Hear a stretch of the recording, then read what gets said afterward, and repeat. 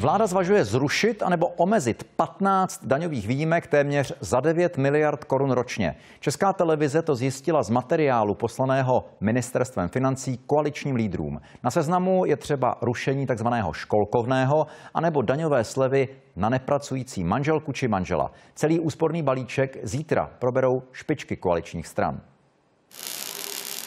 V této opavské strojírenské firmě pracuje zhruba 800 zaměstnanců. Ročně si ti z nich, kteří jsou v odborech, můžou díky zaplaceným příspěvkům snížit daňový základ až o 3 tisíce. Ušetří tak 450 korun. Teď ale koalice plánuje zvýhodnění zrušit. To už tady bylo několikrát, už jsme to zažili eh, za minulých vlád.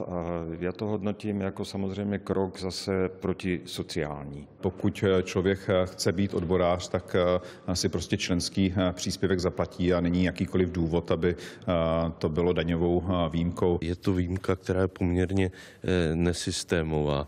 Ehm, asi těžko vysvětlitelné, proč tuto výjimku mají právě a pouze eh, jenom odbory.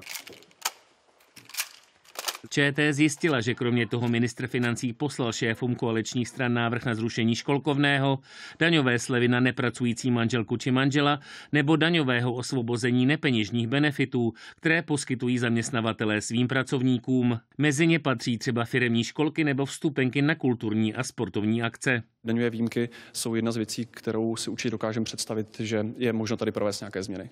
Pokud je o školkovné nebo sleva na nepracující manželku.